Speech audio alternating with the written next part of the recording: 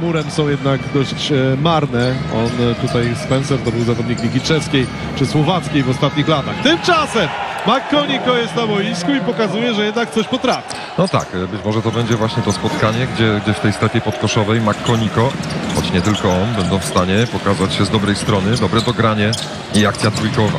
Janczak także jest na parkiecie, ale odbił się...